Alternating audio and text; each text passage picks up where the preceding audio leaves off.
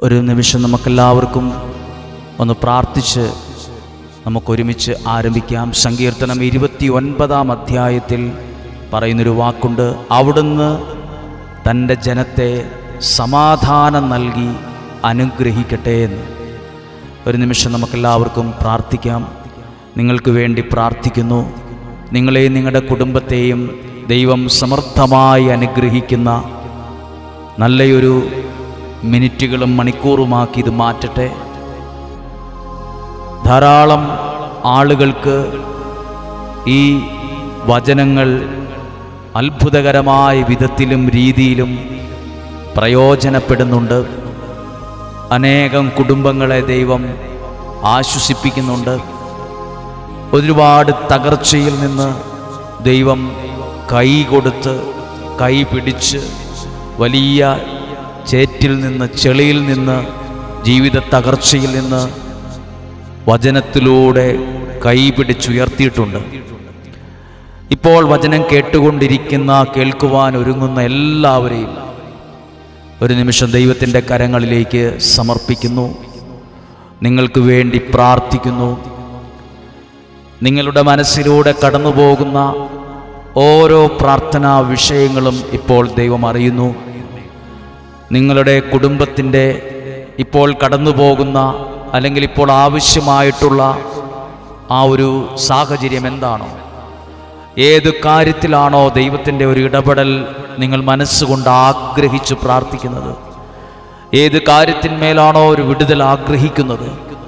ആ മേഖലകളിൽ ദൈവത്തിന്റെ വലിയ പ്രവൃത്തികൾ അത്ഭുത ഇടപെടലുകൾ സംഭവിക്കുവാൻ വേണ്ടി പ്രാർത്ഥിക്കുന്നു. ലാസർ മരിച്ചു. ലാസർ രോഗിയാണെന്ന് യേശുവിനെ അറിയിച്ച സമയമുണ്ട്. യേശുവിന്റെ അടുത്ത് ചെന്ന് പറഞ്ഞു നിന്റെ സ്നേഹിതൻ രോഗമായി വളരെ സീരിയസ് ആയി വീട്ടിലുണ്ട് വളരെ അത്യാസന നിലയിലാണ് എന്ന് പറഞ്ഞപ്പോഴും യേശു അതിനെ പ്രതികരിച്ചില്ല. യേശു വന്നില്ല. ലാസർ മരിച്ചു. ഒരു ദിവസം രണ്ട് ദിവസം മൂന്ന് ദിവസം കഴിഞ്ഞു. നാലാമത്തെ ദിവസം ലാസറിന്റെ ആ ഒരു ഭവനത്തിലേക്ക് യേശു വരുന്നത്. ഒരു തരത്തിൽ ചിന്തിച്ചാൽ എന്തുകൊണ്ടാണ് എന്റെ ഒരു ആവശ്യ നേരത്ത് യേശു വരാഞ്ഞത് എന്ന് വന്നില്ലല്ലോ എന്ന് ലാസർ ഒരുപക്ഷെ മരിക്കുന്നതിന് മുമ്പ് ചിന്തിച്ചു കാണും. അറിയിച്ചിട്ടും വന്നില്ലല്ലോ. ഒരുപക്ഷെ നിങ്ങളും പ്രാർത്ഥിച്ചിട്ട് ഉത്തരം കിട്ടിയില്ലല്ലോ. ദൈവം ഇടപെട്ടില്ലല്ലോ. അതുകൊണ്ട് പ്രാർത്ഥന നിർത്തിയേക്കാം എന്നൊക്കെ ആയിരിക്കും നിങ്ങളും ചിന്തിക്കുന്നത്. എന്നാൽ ആ വാഗ് ആ ഭാഗം വായിക്കുമ്പോൾ ഒരു കാര്യം അറിയാൻ പറ്റും.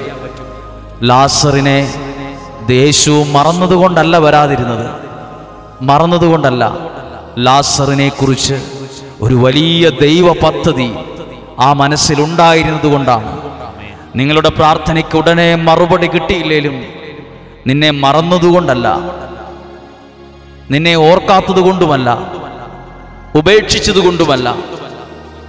നിന്നെക്കുറിച്ച് വലിയൊരു ദൈവ പദ്ധതി ആ മനസ്സിലുള്ളത് കൊണ്ടാണ്. ആ മേഖലകളിൽ ഒരു വിടുതൽ സംഭവിച്ചിരിക്കും. എല്ലാവർക്കും വേണ്ടി ഈ നിമിഷങ്ങളിൽ ഒന്ന് പ്രാർത്ഥിക്കുന്നു. നമുക്കൊരു നിമിഷം പ്രാർത്ഥിക്കാം. പരിശുദ്ധാത്മാവെ ബന്ധക്കുസ്തയ്ക്ക് ഒരുക്കമായി അടുത്ത ഒരുക്കം നടത്തുന്ന ശുശ്രൂഷകൾ ധാരാളമുള്ള ഒരു സമയമാണ്. ഈ കേൾക്കുന്ന ഓരോ വ്യക്തികളെയും പരിശുദ്ധാത്മാവ് കൊണ്ട് നിറയ്ക്കണമേ. ഈ കേൾക്കുന്ന ഓരോ വ്യക്തികളെയും പരിശുദ്ധാത്മാവ് കൊണ്ട് നയിക്കണമേ. ഈ ദിവസം ഈ ശുശ്രൂഷയിൽ പങ്കെടുക്കുന്ന നിങ്ങൾക്കും നിങ്ങളുടെ കുടുംബത്തിലും പരിശുദ്ധാത്മാവിന്റെ വലിയൊരു നിറവുണ്ടാകാൻ പരിശുദ്ധാത്മാവിന്റെ ഒരു അഭിഷേകം ഉണ്ടാകാൻ നിങ്ങൾക്ക് വേണ്ടി പ്രാർത്ഥിക്കുകയാണ്. പരിശുദ്ധാത്മാവേ എഴുന്നള്ളി വരണമേ എന്ന് പ്രാർത്ഥിക്കുന്നു. പരിശുദ്ധാത്മാവെ ഞങ്ങളെ ശക്തിപ്പെടുത്തണമേ എന്ന് പ്രാർത്ഥിക്കുന്നു. പരിശുദ്ധാത്മാവെ ഞങ്ങളെ ബലപ്പെടുത്തണമേ എന്ന് പ്രാർത്ഥിക്കുന്നു. ദൈവത്തിന്റെ ആത്മാവാണ് പരിശുദ്ധാത്മാവ്.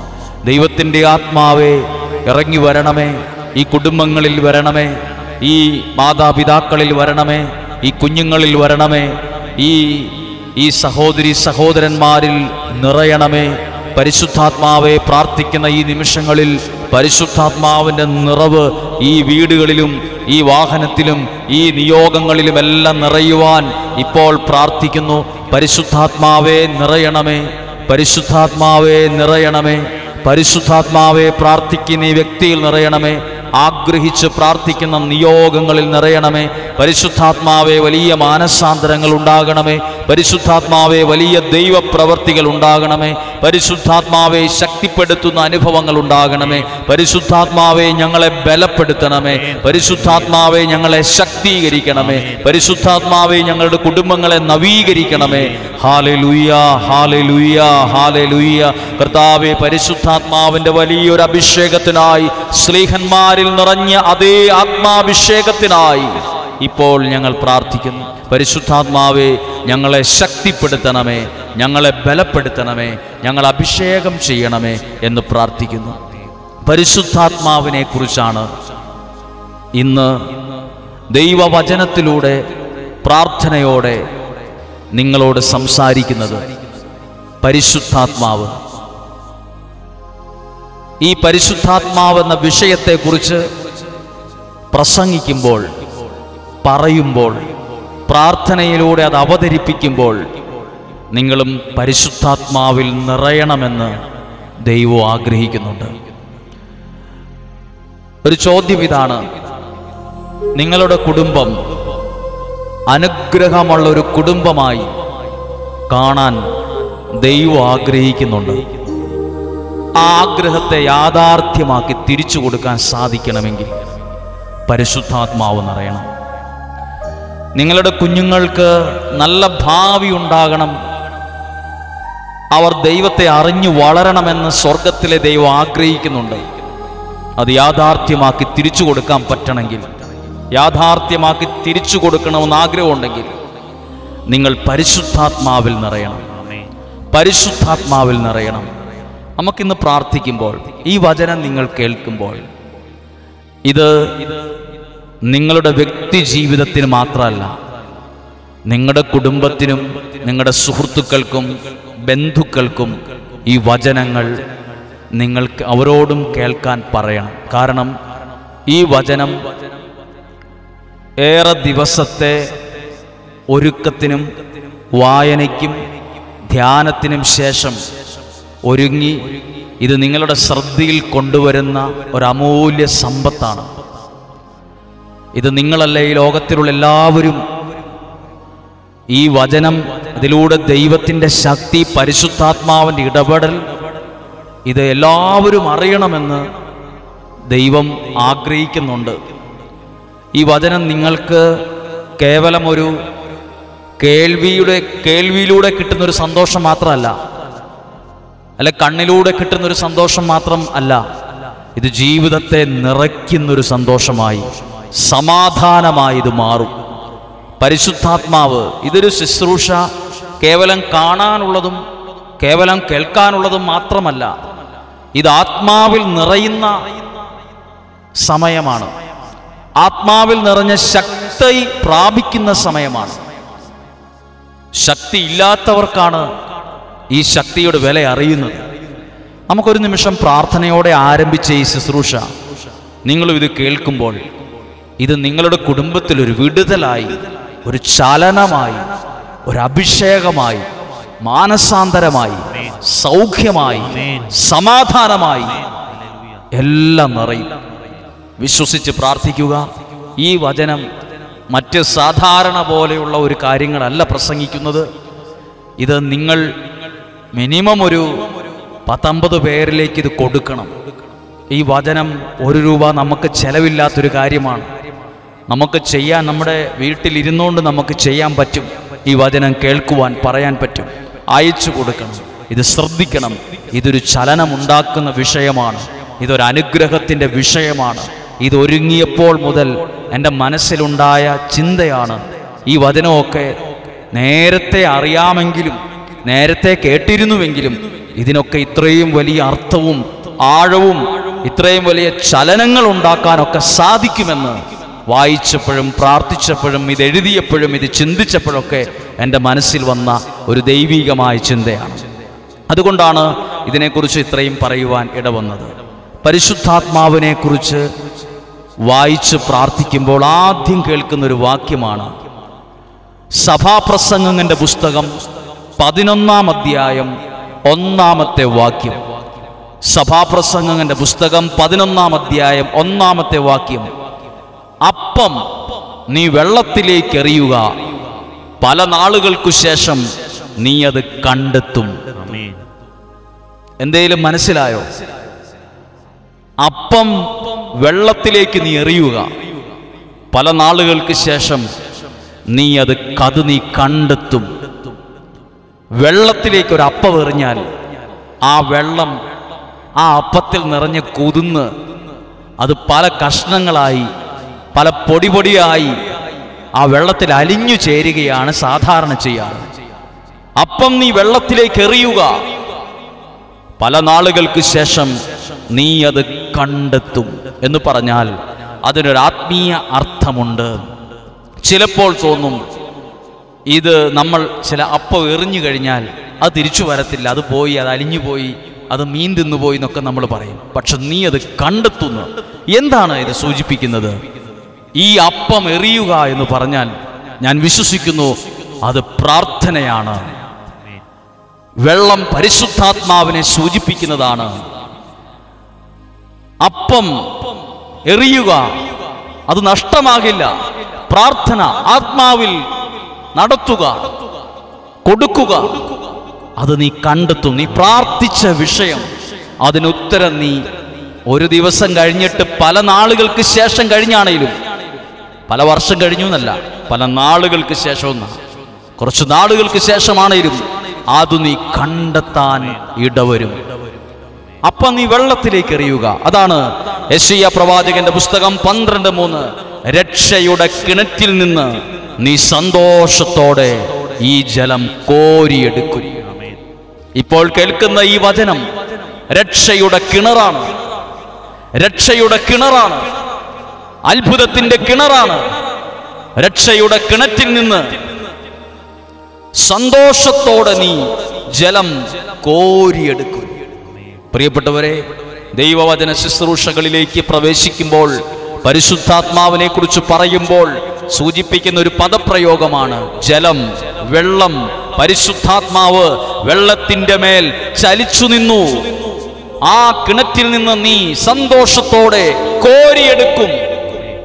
നീ വെള്ളത്തിലേക്ക് അപ്പം എറിയുക. പല നാളുകൾക്ക് ശേഷം നീ അത് കണ്ടെത്തും. പരിശുദ്ധാത്മാവ് നമ്മളിൽ നിറയട്ടെ. പരിശുദ്ധാത്മാവ് നമ്മളിൽ നിറയട്ടെ. ഈ വചനത്തോടൊപ്പം ആത്മാവ് നമ്മളിൽ വ്യാപരിക്കട്ടെ. ആത്മാവിന്റെ ചലനം നിങ്ങളുടെ കുടുംബത്തിൽ ഉണ്ടാകട്ടെ. ആത്മാവിന്റെ ചലനം നിങ്ങളുടെ വ്യക്തി ജീവിതങ്ങളിൽ സംഭവിക്കട്ടെ. ആത്മാവിന്റെ ചലനം മാനസാന്തരം ആവശ്യമുള്ള വ്യക്തികളുടെ മേൽ ചലിക്കട്ടെ. പരിശുദ്ധാത്മാവിന്റെ ചലനം നിങ്ങളുടെ സാഹചര്യങ്ങളിൽ രോഗാവസ്ഥകളിൽ പ്രതീക്ഷ വരെ നഷ്ടപ്പെട്ട വിഷയങ്ങളിൽ ചലിക്കട്ടെ. അതിന്റെ സാഹചര്യങ്ങളെ ആത്മാവ് മാറ്റും. പരിശുദ്ധാത്മാവ് അവിടെ ഇടപെടും. പരിശുദ്ധാത്മാവ് ഒരു വ്യക്തിയാണ് പരിശുദ്ധാത്മാവ് ഒരു ശക്തിയാണ് പരിശുദ്ധാത്മാവ് ഒരു ചൈതന്യമാണ് അത് നിങ്ങളിൽ പ്രവർത്തിക്കുന്നു. അത് നിങ്ങളിൽ ഇടപെടുന്നു. വളരെ അത്ഭുതകരമായി തോന്നുന്ന ഒരു ഭാഗമുണ്ട്. ശിഷ്യന്മാർ പരിശുദ്ധാത്മാവിൽ നിറയുന്നതിന് മുമ്പ് അവർ ഒരുപാട് കാര്യങ്ങളിൽ കഴിവില്ലാത്തവരായിരുന്നു. ഒരുപാട് കാര്യങ്ങളിൽ. അങ്ങനെയുള്ള ഒരു ഭാഗമാണ് ഇപ്പോൾ ആദ്യമായി വായിക്കുന്നത്. അത് വിശുദ്ധ മത്തായുടെ സുവിശേഷം പതിനേഴാം അധ്യായം പതിനാല് മുതലുള്ള വാക്യങ്ങളാണ്. അവിടെ പതിനാല് മുതലുള്ള വാക്യങ്ങളിൽ കാണുന്നു അപസ്മാര രോഗിയെ സുഖപ്പെടുത്തുന്നതാണ്. അവിടെ ഒരു അപ്പച്ചൻ ഒരു മനുഷ്യൻ ഒരാൾ കടന്നു വന്ന് ദൈവസന്നിധിയിൽ അവന്റെ സന്നെ പ്രണമിച്ചുകൊണ്ട് പറഞ്ഞു കർത്താവെ എന്റെ പുത്രനിൽ കനിയണം. അവൻ അപസ്മാരം പിടിപെട്ട് വല്ലാതെ കഷ്ടപ്പെടുന്നു തീയിലും വെള്ളത്തിലും വീഴുന്നു. അടുത്ത വാക്കി നോക്കൂ. അവൻ ഞാൻ അവനെ നിന്റെ ശിഷ്യന്മാർ ശിഷ്യന്മാരുടെ അടുത്ത് കൊണ്ടുവന്നു. പക്ഷേ പക്ഷെ സുഖപ്പെടുത്താൻ കഴിഞ്ഞില്ല. ഇതാണ് ശിഷ്യന്മാരുടെ അവസ്ഥ. അതായത് അവർ ദൈവവചനം കേൾക്കുന്നവരും യേശുവിന്റെ കൂടെ നടന്നവരും യേശുവിനെ അനുഗമിച്ചിരുന്നവരും എല്ലാമായിരുന്നു. എത്രയോ അത്ഭുതങ്ങൾ അവർ കാണുകയും അനുഭവിക്കുകയും ചെയ്തവരാണ്. പക്ഷെ ഒരു ഒരു മനുഷ്യൻ ഒരു അപസ്മാര രോഗിയെ കൊണ്ടുവന്നിട്ട് പറഞ്ഞു ഒന്ന് പ്രാർത്ഥിച്ച് സൗഖ്യം കൊടുക്കണം. ഒത്തിരി കഷ്ടമാണ് ഈ അവസ്ഥ. വെള്ളത്തിലും തീയിലും ഈ കുഞ്ഞു വീണു പോകുന്നു. ഒരു തിന്മയുടെ ആധിപത്യം ഈ കുഞ്ഞിലുണ്ട്. നിങ്ങളൊന്ന് പ്രാർത്ഥിക്കണം. അവർ പ്രാർത്ഥിച്ചെങ്കിലും ഒന്നും നടന്നില്ല. അങ്ങനെ ഈ മനുഷ്യൻ യേശുവിന്റെ അടുത്ത് കൊണ്ടുവന്നിട്ട് പറഞ്ഞു നിന്റെ ശിഷ്യന്മാരുടെ അടുത്ത് ഞാൻ കൊണ്ടുവന്നു. പക്ഷേ അവർക്ക് സുഖപ്പെടുത്താൻ കഴിഞ്ഞില്ല. അവരവിടെ പരാജയപ്പെട്ടു പോയി. അവരുടെ ശിരസ് കുനിഞ്ഞുപോയി. അവർക്കെന്തോ ഒരു വിഷമം തോന്നി. പക്ഷെ ഞങ്ങൾക്കത് സാധിച്ചില്ലല്ലോ. അതിനുശേഷം ഇങ്ങനെയുള്ള ദുഃഖമുള്ളവരും കഴിവില്ലാത്തവരും ഒക്കെയായിരുന്നു ശിഷ്യന്മാർ. എന്നാൽ അപ്പസ്തോല പ്രവർത്തനത്തിൽ രണ്ടാം അധ്യായത്തിൽ ശിഷ്യന്മാർ ഒരുമിച്ച് കൂടിയിരുന്ന് അതാണ് ഒന്നാം അധ്യായം പതിനാലാമത്തെ വാക്യം ഈ കഴിവില്ലാത്ത ഒരു രോഗി കൊണ്ട് ഒരു രോഗി അടുത്തു വന്നാൽ പോലും പ്രാർത്ഥിച്ച് സൗഖ്യം കൊടുക്കാൻ കഴിയാത്ത ഇതേ ശിഷ്യന്മാർ ഒന്നാം അധ്യായം പതിനാലാമത്തെ വാക്യത്തിൽ എഴുതിയിരിക്കുന്നു. അവർ ഏക മനസ്സോടെ യേശുവിന്റെ അമ്മയായ മറിയത്തോടും മറ്റു സ്ത്രീകളോടും അവന്റെ സഹോദരന്മാരോടുമൊപ്പം പ്രാർത്ഥനയിൽ മുഴുകിയിരുന്നു. പ്രാർത്ഥിച്ചു. ശിഷ്യന്മാർ പ്രാർത്ഥിക്കുവാൻ എന്തിന് പരിശുദ്ധാത്മാവ് നിറയാൻ രണ്ടാം അധ്യായത്തിൽ പരിശുദ്ധാത്മാവിന്റെ ആഗമനം ഉണ്ടാകുന്നു.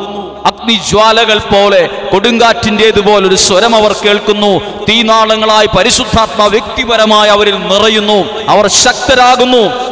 ഇതേ ശിഷ്യന്മാർ മൂന്നാം അധ്യായത്തിൽ എവിടെയെത്തി? ഇതാ മുടന്തിന് സൗഖ്യം എന്ന് എഴുതിയിട്ടുണ്ട്.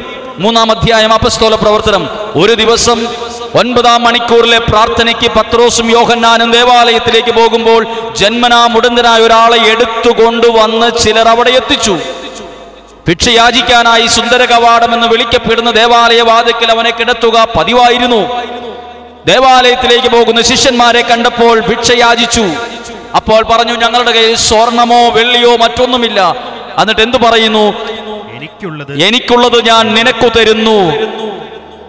നസ്രാന യേശുവിന്റെ നാമത്തിൽ എഴുന്നേറ്റ് നടക്കുക. ഏഴാമത്തെ വാക്യം പത്രോസ് വലതു കൈക്ക് പിടിച്ച് അവനെ എഴുന്നേൽപ്പിച്ച് ഉടനെ അവന്റെ കൈകളും അവന്റെ പാദങ്ങളും കണങ്കാലുകളും ബലം പ്രാപിച്ചു. അവൻ ചാടി എഴുന്നേറ്റ് നടന്നു. നടന്നും കുതിച്ചു ചാടിയും ദൈവത്തെ സ്തുതിച്ചു. മുമ്പേ കണ്ട ഒരു ഭാഗത്ത് ഒരു അപസ്മാര രോഗിയെ പോലും സുഖപ്പെടുത്താൻ കഴിയാതിരുന്ന യേശുവിന്റെ അടുത്ത് പോയി ആ മനുഷ്യൻ പറഞ്ഞു നിന്റെ ശിഷ്യന്മാർക്ക് കഴിഞ്ഞില്ല. നിനക്ക് പറ്റുമെങ്കിൽ എന്ന് പറഞ്ഞപ്പോൾ അവർ അനുഭവിച്ചൊരു വിഷമമുണ്ട്. ഒരു ചമ്മലുണ്ട്. കഴിഞ്ഞില്ലല്ലോ. പ്രാർത്ഥിച്ചിട്ടൊരു വിടുതൽ ഉണ്ടായില്ലല്ലോ. പ്രാർത്ഥിച്ചിട്ടൊരു അത്ഭുതം നടന്നില്ലല്ലോ. എന്ന് ചിന്തിച്ച ശിഷ്യന്മാർ ഒരുമിച്ചിരുന്ന് പ്രാർത്ഥിച്ച് പരിശുദ്ധാത്മാവിനെ സ്വീകരിച്ചപ്പോൾ നോക്കൂ എഴുതിയിട്ടുള്ളത് കഴിഞ്ഞില്ലെന്നല്ല പിന്നീട്. യേശുവിന്റെ നാമത്തിൽ അത്ഭുതങ്ങൾ ചെയ്യാൻ കഴിവുള്ളവരും ശക്തരുമായി മാറി. ഇതാണ് ഒരു വ്യക്തിയിൽ ആത്മാവ് നിറയുമ്പോൾ ഉണ്ടാകുന്ന വ്യത്യാസം. ഇതേ വ്യത്യാസം ഈ കേൾക്കുന്ന നിങ്ങളിലും ഉണ്ടാകും ഒരുപക്ഷെ നിങ്ങൾ പ്രാർത്ഥിക്കുന്നവരാകും. ഒരുപക്ഷെ നിങ്ങൾ ഉപവസിക്കുന്നവരാകും. ഒരുപക്ഷെ നിങ്ങൾ ദൈവവചനം ദിവസവും ധ്യാനിക്കുന്നവരാകും. ആത്മാവിൽ നിറയുമ്പോൾ വ്യത്യസ്ത അനുഭവമാണ്. ശിഷ്യന്മാർ പ്രാർത്ഥനയുള്ളവരായിരുന്നു. യേശുവിന്റെ കൂടെ നടന്നവരായിരുന്നു. മാസങ്ങൾ ദിവസങ്ങൾ യേശുവിന്റെ ഒപ്പം ചെലവഴിച്ചിട്ടുള്ളവരാണ്. ഒപ്പം നടന്നവരാണ്. പക്ഷയോ പല കാര്യങ്ങളും ചെയ്യാൻ ശക്തി അവർക്ക് ലഭിച്ചിരുന്നില്ല. പക്ഷെ പരിശുദ്ധാത്മാവിനെ കിട്ടിയപ്പോൾ അവർ ശക്തരായി മാറി. ശക്തരായി മാറി. ശക്തരായി മാറി. പരിശുദ്ധാത്മാവ് നിങ്ങളിൽ വരുമ്പോൾ നിങ്ങളുടെ കഴിവുകേടുകൾ മാറും. നിങ്ങളുടെ ബലഹീനതകൾ മാറും. നിങ്ങൾ എവിടെയാണോ തലകുനിഞ്ഞത് എവിടെയാണോ നിങ്ങൾ പരാജയപ്പെട്ടത് എവിടെയാണോ നിങ്ങളൊക്കെ അധ്വാനിച്ചിട്ടും പരിശ്രമിച്ചിട്ടും ശരിയാകാതെ പോയത് വിജയിക്കാതെ പോയത് നന്നാകാതെ പോയത് പരിശുദ്ധാത്മാവ് വരുമ്പോൾ നിങ്ങൾ എവിടെയാണോ പരാജയപ്പെട്ടത് ശരി അധ്വാനിച്ചിട്ട് ശരിയാകാതെ വന്നത് പരിശുദ്ധാത്മാവിന് നിറവ് വരുമ്പോൾ അതുപോലെ ആയിരിക്കില്ല നിങ്ങൾ പിന്നീട്. നിങ്ങളുടെ ജീവിതം മാറും നിങ്ങളുടെ കാഴ്ചപ്പാടുകൾ മാറും നിങ്ങളുടെ ദർശനങ്ങൾ മാറും നിങ്ങളുടെ തീരുമാനങ്ങൾ മാറും നിങ്ങളുടെ നിലപാടുകൾ മാറും നിങ്ങൾ ശക്തരായി മാറും. ഒരു കാര്യത്തിൽ മാത്രമല്ല എല്ലാ കാര്യത്തിലും ഇങ്ങനെയാണ്. പരിശുദ്ധാത്മാവ് വരുമ്പോൾ നിങ്ങൾ ശക്തരായി മാറും. അതുകൊണ്ടാണ് ശിഷ്യന്മാരോട് പറഞ്ഞത് പരിശുദ്ധാത്മാവ് വരുമ്പോൾ നിങ്ങൾ ശക്തി പ്രാപിക്കും. ശക്തി. ശക്തിയില്ല പല കാര്യത്തിലും നമുക്ക്. നല്ലൊരു വെല്ലുവിളി വരുമ്പോൾ പോലും നേരിടാൻ ശക്തി നമുക്കില്ല. നമുക്കൊരു പ്രശ്നത്തെ അഭിമുഖീകരിക്കാനുള്ള ശക്തിയില്ല. ചില സഹനങ്ങൾ സ്വീകരിക്കാനുള്ള ശക്തിയില്ല. മുന്നോട്ട് പോകാനുള്ള ശക്തിയില്ല. പല കാര്യത്തിലും ഒരു ദൈവത്തിൽ നിന്നുള്ള ശക്തി നമുക്ക് ആവശ്യമാണ് ഒന്നാമത്തെ വ്യത്യാസം ഇതാ. ഇനി അടുത്ത കാര്യങ്ങൾ വളരെ പ്രധാനപ്പെട്ടതാണ്. പരിശുദ്ധാത്മാവിന്റെ പ്രത്യേകത. അപ്പസ്തോല പ്രവർത്തനം രണ്ടാം അധ്യായം ഒന്നു മുതലുള്ള വാക്യത്തിൽ ഈ പെന്തക്കുസ്ത ഒരുക്ക സമയത്ത് കേട്ടിരിക്കേണ്ട മനസ്സിലാക്കേണ്ട ഒരു അത്ഭുത വചനമാണ്. പരിശുദ്ധാത്മാവ് നിങ്ങളിൽ ഇടപെടുന്ന സമയമാണ്. നിങ്ങളും പ്രാർത്ഥനയോടെ ഇത് ഈ സമയം കേൾക്കാൻ വേണ്ടി കേൾക്കുന്ന സമയമാകരുത്. ഇത് ആത്മാവിൽ നിറയാൻ ആഗ്രഹിച്ചുകൊണ്ട് കേൾക്കുന്ന സമയമാകട്ടെ. ബൈബിളിൽ എഴുതിയിരിക്കുന്ന അപസ്തോല പ്രവർത്തനം രണ്ടാം അധ്യായം. പെന്തക്കുസ്താ ദിനം സമാഗതമായപ്പോൾ അവരെല്ലാവരും ഒരുമിച്ച് കൂടിയിരിക്കുകയായിരുന്നു. അടുത്ത വാക്യം. കൊടുങ്കാറ്റടിക്കുന്നത് പോലുള്ള കൊടുങ്കാറ്റടിക്കുന്നത് പോലെയുള്ള ഒരു ശബ്ദം ഒരു ശബ്ദം പെട്ടെന്ന് ആകാശത്ത് നിന്നുണ്ട് ഉണ്ടായി. ഏതുപോലെ ഒരു ശബ്ദമാണ് എഴുതിയിട്ടുള്ളത്? കൊടുങ്കാറ്റ്. കൊടുങ്കാറ്റ്. ഈ കൊടുങ്കാറ്റ് എന്നൊക്കെ പറയുമ്പോൾ വേഗത്തിൽ വായിച്ചു പോകാൻ ഒരു സെക്കൻഡ് വേണ്ട. പക്ഷെ കൊടുങ്കാറ്റുണ്ടായാലുള്ള പ്രത്യാഘാതങ്ങൾ എന്താണെന്ന് പേപ്പറിലൂടെയെങ്കിലും വായിച്ചിട്ടുണ്ടാകും. ഇനി ഓൺലൈൻ മീഡിയയിലൂടെ അത് കണ്ടിട്ടുണ്ടാകും. ടി വിയിൽ വാർത്ത സമയത്ത് ചില ഭാഗങ്ങളിൽ രാജ്യത്തിന്റെ ചില ഭാഗങ്ങളിൽ കൊടുങ്കാറ്റടിച്ചതിന്റെ തിക്താനുഭവങ്ങൾ വീടില്ല. വലിയ മരങ്ങൾ വരെ ചുഴറ്റി എറിഞ്ഞ് മാറിപ്പോകും. വലിയ കെട്ടിടങ്ങൾക്ക് വരെ വീഴ്ച സംഭവിക്കും. അപകടകാരിയാണ് കൊടുങ്കാറ്റ്. ലാ ഒരു കണ്ണിൽ ഈ കൊടുങ്കാറ്റിനെ കാണരുത്. ഇത് ആത്മീയമായ കണ്ണിൽ കാണേണ്ട മനസ്സിലാക്കേണ്ട ഒരു കൊടുങ്കാറ്റാണ്. ഈ കൊടുങ്കാറ്റുണ്ടായിട്ട് എത്ര മരം വീണു എന്ന് എഴുതിയിട്ടുണ്ട്. ഈ കൊടുങ്കാറ്റുണ്ടായിട്ട് എത്ര വീടുകളുടെ മേൽക്കൂര പറന്നുപോയി എന്ന് എഴുതിയിട്ടുണ്ട്. ഈ കൊടുങ്കാറ്റുണ്ടായിട്ട് എത്ര പേരുടെ ജീവനഷ്ടമായി എന്ന് എഴുതിയിട്ടുണ്ട്. അപ്പോൾ ഇത് ലോകത്തിന്റെ കണ്ണിൽ കാണേണ്ട ഒരു കൊടുങ്കാറ്റല്ല ഇത് ആത്മീയമായ കണ്ണിൽ വിശ്വാസത്തിന്റെ കണ്ണിൽ കാണേണ്ട ഒരു കൊടുങ്കാറ്റാണ്. കൊടുങ്കാറ്റടിക്കുന്നത് പോലെ ഒരു ശബ്ദം. സാധാരണ കാറ്റടിക്കുമ്പോൾ മരത്തിന്റെ ചില്ലകൾ ആ കാറ്റിൽ ആ, ശക്തിയായി അതിനെ ബാധിക്കുമ്പോൾ ഒരു ശബ്ദമുണ്ട്. കാറ്റിന്റെ പ- പലതരത്തിലുള്ള കാറ്റുകളുണ്ട്. ശക്തിയായ കാറ്റുണ്ട്. കൊടുങ്കാറ്റുണ്ട് ശാന്തമായ കാറ്റുണ്ട്. പല രീതിയിലുണ്ട്. ഓരോ കാറ്റിനും ഓരോ ശബ്ദമാണ് കൊടുങ്കാറ്റിന്റെ ശബ്ദമൊക്കെ പേടിപ്പിക്കുന്നതാ. ഭയം ഉണ്ടാക്കും പേടിക്കും. ഏതൊരു മനുഷ്യനും വല്ലാതെ ഭയപ്പെടും. കൊടുങ്കാറ്റ്. ഇതുപോലെ ഒരു ശബ്ദമുണ്ടായി. ഇനി അത് ചിന്തിക്കുമ്പോൾ നോക്കൂ. ആ കാറ്റ് മേൽക്കൂരയാണോ പറത്തിക്കൊണ്ട് പോയത് എന്ന് എഴുതിയിട്ടുണ്ട് താഴെ. അവർ സമ്മേളിച്ചിരുന്ന വീട് മുഴുവൻ വീട് മുഴുവൻ നിറഞ്ഞു. നിറഞ്ഞു നിറഞ്ഞു. ആ വാക്ക് പ്രധാനപ്പെട്ടതാണ്. നിറ അപ്പോൾ ഈ കൊടുങ്കാറ്റ് വീടിന്റെ മേൽക്കൂര പറത്തിക്കൊണ്ടുപോയ അല്ലെങ്കിൽ വീടിന്റെ മുമ്പിൽ നിന്ന വലിയ മരങ്ങളെല്ലാം ചെതറി ഒടിഞ്ഞ് നിലത്തു വീണുപോയ കൊടുങ്കാറ്റല്ല. ഇത് പ്രാർത്ഥിച്ച സ്ഥലത്തെ നിറച്ച കാറ്റാണ്. നിറച്ചു. നോക്കൂ എഴുതിയിട്ടുള്ളത്. അവർ സമ്മേളിച്ചിരുന്ന വീട് മുഴുവൻ മുഴുവൻ നിങ്ങളുടെ ജീവിതത്തെ മുഴുവൻ മുഴുവൻ മുഴുവനായി. വീടിനെ മുഴുവൻ ജീവനെ മുഴുവൻ ജീവിതത്തെ മുഴുവൻ നിറയ്ക്കാൻ ഈ ദൈവം അയക്കുന്ന കാറ്റിന് കഴിയും. ഹാലലൂയ നിങ്ങളുടെ ജീവിതത്തെ തകർക്കാൻ മേൽക്കൂര പറത്തിക്കൊണ്ടുപോകാൻ ഈ മരങ്ങളെ വീഴ്ത്താനൊക്കെ ലോകത്തിന്റെ കണ്ണിൽ നമ്മൾ കാണുന്ന കൊടുങ്കാറ്റിന് കഴിയും. അത് വലിയ വലിയ കാര്യങ്ങൾ ചെയ്യും. ഒരു ആ ഒരു കാറ്റടിച്ച ആ ഭാഗം മുഴുവൻ നിരത്തി കളയും. എന്നാൽ ഈ കാറ്റടിച്ചപ്പം ആ വീടിനെ മുഴുവൻ നിറയ്ക്കുകയാണ് ചെയ്തത്. ഈ നിറച്ച കാറ്റ് ഇന്ന് ഈ വചനം കേൾക്കുന്ന നിങ്ങളുടെ മേലും അടിക്കട്ടെ. ഈ കാറ്റ് നിങ്ങളുടെ തലമുറകളുടെ മേൽ വീശട്ടെ. ഈ കാറ്റ് നിങ്ങളുടെ ജീവിത പങ്കാളിയുടെ മേൽ നിങ്ങളുടെ ഉത്തരവാദിത്തങ്ങളുടെ മേൽ നിങ്ങളുടെ എഡ്യൂക്കേഷന്റെ മേൽ നിങ്ങളുടെ സ്വപ്നങ്ങളുടെ മേൽ നിങ്ങളുടെ പ്രതീക്ഷകളുടെ മേൽ ഈ കാറ്റ് വീശട്ടെ. ഈ കാറ്റ് നിങ്ങളുടെ മേൽ അടിക്കരുത് ദൈവം അയച്ച കാറ്റാണ്. കടലിൽ നിന്ന് ഉണ്ടായ ഒരു പ്രതിഭാസമായ സയൻസിൽ പഠിക്കുന്ന കാറ്റ് സയൻസ് നമ്മൾ പഠിക്കുമ്പോൾ കാറ്റിനെ കുറിച്ച് പഠിക്കും. ആ കാറ്റല്ലത്. ഇത് ദൈവം അയച്ച കാറ്റാണ്. ഇത് ആരിലേക്ക് അയച്ചു? പരിശുദ്ധാത്മാവിനെ കിട്ടുവാൻ വേണ്ടി ആഗ്രഹിച്ച് ഒരു സ്ഥലത്ത് ഒരുമിച്ച് കൂടി പ്രാർത്ഥനയിലിരുന്ന ഒരു സമൂഹത്തിനാണ് ഈ നിറവുണ്ടായത്. പ്രാർത്ഥിക്കുന്ന നിങ്ങളും ആഗ്രഹത്തോടെയാണോ? പ്രതീക്ഷയോടെയാണോ? ഇപ്പോൾ വചനത്തിന്റെ മുമ്പിൽ ഇരിക്കുന്നത്. നിങ്ങളെ ഈ കാറ്റ് നിറയ്ക്കും. നിറഞ്ഞു എന്നെഴുതുമ്പം അവിടെ ആ കാറ്റ് നിറച്ചപ്പം ആ ആ സ്ഥലത്തുനിന്ന് ചിലതൊക്കെ നിറഞ്ഞു കഴിയുമ്പോൾ ചിലതൊക്കെ ഔട്ടാവും. നിറഞ്ഞു കഴിയുമ്പോൾ അവിടെ ഉണ്ടായിരുന്ന ചിലതൊക്കെ മാറും. പ്രിയപ്പെട്ടവരെ ദൈവം അയക്കുന്ന ഈ അഭിഷേകത്തിന്റെ ഈ ആത്മാവിന്റെ കാറ്റ് നിങ്ങളിൽ വരുമ്പോൾ നിങ്ങൾ അസ്വസ്ഥപ്പെടുത്തുന്ന നിങ്ങളെ വിഷമിപ്പിക്കുന്ന പല കാര്യങ്ങളും ആ നിറവിൽ പുറത്തു പോകും. പുറത്തു പോകും മാറിപ്പോകും. ഒരുപക്ഷെ വഴക്കായിരിക്കും അസ്വസ്ഥതയായിരിക്കും. അല്ലെങ്കിൽ ക്ഷീണമായിരിക്കും സങ്കടമായിരിക്കും ഭാരമായിരിക്കും നിരാശയായിരിക്കും ഡിപ്രഷൻ ആയിരിക്കും അത് പുറത്തു പോകും. ആ കാറ്റ് നിങ്ങളെ നിറയ്ക്കും. അത് സമാധാനം നൽകി നിറയ്ക്കും. സന്തോഷം നൽകി നിറയ്ക്കും. പ്രതീക്ഷ നൽകി നിറയ്ക്കും. അതുകൊണ്ടാണ് നിങ്ങൾ പറഞ്ഞത് കർത്താവേ ഞങ്ങളിൽ ഈ ആത്മാവിനെ അയക്കണമേ. ഈ ആത്മാവിനെ ഞങ്ങളിൽ അയക്കണമേ.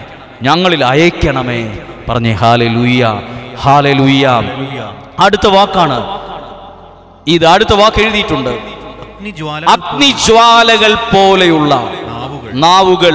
തങ്ങൾ ഓരോരുത്തരുടെയും മേൽ ഓരോരുത്തരുടെ മേലും വന്നു നിൽക്കുന്നതായി വന്നു നിൽക്കുന്നതായി കണ്ടു. അവർ കണ്ടു. അഗ്നി അവരുടെ ജീവിതത്തിന്റെ നോക്കൂ അത് പ്രാർത്ഥിച്ച എല്ലാവരുടെ മേൽ വന്ന് നിൽക്കുന്നു എന്നല്ല ഓരോരുത്തരുടെയും മേൽ. അപ്പോൾ ദൈവാത്മാവിന്റെ ഇടപെടൽ വ്യക്തിപരമായി സംഭവിക്കും. ആമേൻ ഓരോരുത്തരുടെയും മേൽ. ഓരോരുത്തർക്കും. ഇപ്പൊ പ്രാർത്ഥിക്കുന്ന നിങ്ങൾക്ക് ഓരോരുത്തർക്കും ഓരോരുത്തർക്കും. ഈ ഇരിക്കുന്ന ഓരോരുത്തർക്കും ഈ കേൾക്കുന്ന ഓരോരുത്തർക്കും ഈ ആത്മാവ് വേണം. എല്ലാവരിലേക്കും ഒരു നിശ്ചിത ശതമാനം വന്നു എന്നല്ല. ഒരു കാറ്റടിക്കുന്നത് പോലെ ഉണ്ടായി ഒരു ഫീലിംഗ് ഉണ്ടായി പെട്ടെന്നൊന്ന് വിറച്ചതുപോലെ തോന്നി എന്തോ ഒരു ചൂട് അനുഭവിക്കുന്നവർ തോന്നി എന്ന് പറഞ്ഞ് കേവലം ഒരു ഒരു എക്സ്പീരിയൻസ് അല്ല ഇത് അത് അവരെ വ്യക്തിപരമായി തൊടുന്ന നിറയ്ക്കുന്ന അനുഭവമായി അത് മാറി. പരിശുദ്ധാത്മാവ് നമ്മളെ നിറയ്ക്കും. അതുകൊണ്ട് നമ്മൾ ഒരു നിമിഷം ഇങ്ങനെ പ്രാർത്ഥിച്ച് കർത്താവേ അങ്ങയുടെ ആത്മാവിനെ എന്നെ മേൽ അയക്കണമേ. എന്റെ മേൽ വ്യക്തിപരമായി അയക്കണമേ. എന്റെ കുടുംബത്തിൽ അങ്ങ് നിറയ്ക്കണമേ. ഹാലലൂയ അടുത്ത പ്രധാനപ്പെട്ട ഒരു കാര്യമാണ് പരിശുദ്ധാത്മാവ് നമ്മളിൽ നിറയുമ്പോൾ. ഈ പരിശുദ്ധാത്മാവ് നമ്മുടെ ജീവിതത്തിന്റെ വഴി തുറക്കുന്ന കാറ്റാണ്. വഴി തുറക്കും. കാറ്റ്. നമ്മളിപ്പോൾ കണ്ടു കൊടുങ്കാറ്റ് അടിക്കുന്നത് പോലൊരു ശബ്ദം. ഇതുപോലൊരു കാറ്റുണ്ട്. പുറപ്പാട് പുസ്തകം പതിനാലാം അധ്യായത്തിൽ ഒരു കാറ്റടിച്ചിട്ടുണ്ട്. പുറപ്പാട് പുസ്തകം പതിനാലാം അധ്യായം ഇരുപത്തി ഒന്ന് മുതലുള്ള വാക്യങ്ങൾ. പുറപ്പാട് പതിനാലാം അധ്യായം ഇരുപത്തി ഒന്ന് മുതലുള്ള വാക്യങ്ങളിൽ ആ വാക്യം എഴുതിയിട്ടുണ്ട്. അന്ന് ആ വാക്യം വായിക്കുകയാണ്. മോശ. അത് വായിക്കുന്നതിന് മുമ്പ് ശ്രദ്ധിച്ചു. അപ്പസ്തോല പ്രവർത്തനത്തിൽ ശിഷ്യന്മാർ ഒരുമിച്ച് കൂടിയിരിക്കുമ്പോൾ കൊടുങ്കാറ്റടിക്കുന്നത് പോലെ ഒരു ശബ്ദമുണ്ടായി. അപ്പോൾ ദൈവം അയച്ച ഒരു കാറ്റാണത്. ഈ ബൈബിളിൽ ദൈവം അയച്ച ചില കാറ്റുകളുണ്ട്. ദൈവം അയക്കുന്ന കാറ്റ് നിങ്ങളുടെ മേൽ വരണം നിങ്ങളുടെ കുടുംബത്തിൽ മേൽ വരണം നിങ്ങളുടെ തലമുറകളിൽ വരണം നിങ്ങളുടെ പ്രാർത്ഥനയിൽ വരണം. ദൈവം അയക്കുന്ന അത് നാശനഷ്ടങ്ങൾ ഉണ്ടാക്കുന്ന കാറ്റല്ല നിങ്ങളെ പടുത്തുയർത്തുന്ന കാറ്റാണ് നിങ്ങളെ പിടിച്ചുയർത്തുന്ന കാറ്റാണ് നിങ്ങളുടെ മേൽ വഴികൾ തുറക്കുന്ന കാറ്റാണ് അത്ഭുതങ്ങളെ കൊണ്ടുവരുന്ന കാറ്റാണ്. അത് എഴുതിയിട്ടുണ്ട് പതിനാലാം അധ്യായം ഇരുപത്തിയൊന്നാമത്തെ വാക്യം. മോശ മോശ കടലിനുമീതെ കടലിനുമീതെ കൈ നീട്ടി. കൈ നീട്ടി പിടിച്ചു. കൈ നീട്ടി. കർത്താവ് രാത്രി മുഴുവൻ കർത്താവ് എഴുതിയിരിക്കുന്ന വാക്കുകൾ അക്ഷരം പ്രതിശ്രദ്ധിക്കാമോ? നിങ്ങൾ തുറന്നൊരു ബൈബിൾ കയ്യിൽ പിടിക്ക്. ആ ബൈബിൾ ഭാഗം എടുക്ക്. എന്നിട്ട് അത് ശ്രദ്ധിച്ച് ആ വാക്ക് കർത്താവ് രാത്രി മുഴുവൻ ശക്തമായ ശക്തമായ ഒരു കിഴക്കൻ കാറ്റ് ഒരു കിഴക്കൻ കാറ്റ് അയച്ചു. ആരയച്ചു? കർത്താവ് ഒരു കാറ്റ് അയച്ചു എന്ന് എഴുതിയിട്ടുണ്ട്. ഏത് സമയത്താ എഴുതിയിരിക്കുന്ന അറിയാമോ ചെങ്കടലിന്റെ സമീപത്ത് നിന്ന് വല്ലാതെ വിഷമിക്കുമ്പോൾ ചുട്ടുപൊള്ളുന്ന മരുഭൂമിയുടെ മണ മണലാരണ്യത്തിൽ നിൽക്കുമ്പോൾ ഒരുപാട് ജനങ്ങൾ പിറുപിറുക്കുമ്പോൾ ഞങ്ങളെ തിരിച്ചു പൊക്കോളാം.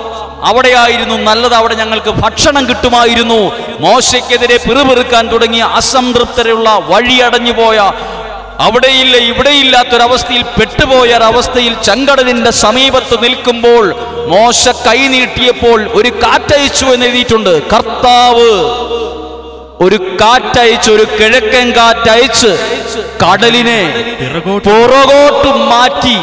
അപ്പോൾ അത് ലോകത്തിന്റെ കണ്ണിൽ കാണേണ്ട കാഴ്ചയല്ല. കാരണം ഒരു കാറ്റ് സ്വാഭാവികമായി സംഭവിക്കുമ്പോൾ കടൽ തിരമാലകളുടെ വലിപ്പം കൂടി കരക്കി നിന്നവരെ കൂടി ആ തിരമാല വിഴുങ്ങേണ്ട ഒരു അന്തരീക്ഷമാണ് ഉണ്ടാകേണ്ടത്. എന്നാൽ ദൈവം അയച്ച കാറ്റിന്റെ പ്രത്യേകത എന്താണ്? ദൈവം അയച്ച കാറ്റ് അവരെ മൂടുകയോ അവരെ ഭീതിപ്പെടുത്തുകയോ ചെയ്യുന്ന കാറ്റല്ല. ആ കാറ്റിന്റെ പ്രത്യേകത കടലിനെ പുറകോട്ട് മാറ്റി. കടലിനെ പുറകോട്ട് മാറ്റുന്ന എത്ര കാറ്റുകളെ കുറിച്ച് നിങ്ങൾ കേട്ടിട്ടുണ്ട്? നിങ്ങൾ ചരിത്ര പുസ്തകങ്ങൾ പഠിച്ചിട്ടില്ലേ? എത്രയോ ഗ്രന്ഥങ്ങൾ നിങ്ങൾ വായിച്ചിട്ടുണ്ട്? ലൈബ്രറിയിൽ എത്രയോ വില കൂടിയ എത്രയോ അറിവുകൾ തരുന്ന പുസ്തകങ്ങളുണ്ട്. അവിടെ എവിടെയെങ്കിലും ഇങ്ങനെ ഒരു പദം ശ്രദ്ധിച്ചിട്ടുണ്ടോ? കാറ്റയച്ച് കടലിനെ പുറകോട്ട് മാറ്റിയെന്ന് ഇത് ചിത്രകഥയിലെ ഒരു ഭാം കഥയോ രസകഥകളോ അല്ല. ദൈവം ചെയ്ത അത്ഭുത പ്രവൃത്തിയുടെ യാഥാർത്ഥ്യത്തിന്റെ ഭാഗമാണ്. പ്രിയപ്പെട്ടവരെ ശ്രദ്ധിക്കുക. ദൈവം അയച്ച കാറ്റ് കടലിനെ പിറകോട്ട് മാറ്റാൻ ശക്തിയുള്ള കാറ്റാണ്. അവരെ സംബന്ധിച്ച കടൽ എന്തായിരുന്നു? അത് വഴി അടഞ്ഞ ഒരു പ്രതീക്ഷ നഷ്ടപ്പെട്ട ഒരു അന്തരീക്ഷത്തിന്റെ ഭാഗമായിരുന്നു. പ്രിയപ്പെട്ടവരെ നിങ്ങളുടെ ജീവിതത്തിലും മുമ്പിൽ ചെങ്കടലുപോലെ പരന്നു കിടക്കുന്ന തടസ്സങ്ങളും പ്രതിസന്ധികളും ഉത്തരമില്ലാത്ത ചോദ്യങ്ങളും ശൂന്യതയുടെ മുമ്പിൽ നിൽക്കുമ്പോൾ നിങ്ങളും കൈനീട്ട് നിങ്ങളും പ്രാർത്ഥിക്കുക ദൈവമേ ഈ പുറപ്പാട് പുസ്തകം പതിനാലാം അധ്യായത്തിൽ അയച്ച ആ ഒരു കാറ്റ് ആ കിഴക്കൻ കാറ്റ് ആത്മാവിന് വേണ്ടി ദാഹിച്ച് പ്രാർത്ഥിക്കുന്ന എന്റെ മേൽ എന്റെ കുടുംബത്തിന്റെ മേൽ എന്റെ തലമുറകളുടെ മേൽ ഇപ്പോൾ അയക്കണമേ എന്ന് പ്രാർത്ഥിക്കുക ദൈവം അയച്ച കാറ്റ് നിങ്ങളെ മൂടുകയില്ല. ദൈവം അയച്ച കാറ്റ് നിങ്ങളെ പേടിപ്പിക്കുകയില്ല. ദൈവം അയക്കുന്ന കാറ്റ് നിങ്ങളുടെ പ്രതീക്ഷ തന്ന് വഴികൾ തുറക്കും. കടലിനെ പോലും പിറകോട്ട് മാറ്റും. കടലിനെ പിറകോട്ട് മാറ്റാൻ ഏതു ശക്തിക്ക് പറ്റും ഏത് പാർട്ടിക്ക് പറ്റും ഏത് പ്രസ്ഥാനത്തിന് പറ്റും ഏത് ജ്ഞാനിക്ക് ആർക്ക് പറ്റും കടലിനെ പിറകോട്ട് മാറ്റാൻ? കടലിനെ പിറകോട്ട് മാറ്റാൻ ദൈവം അയക്കുന്ന കാറ്റിന് പറ്റും.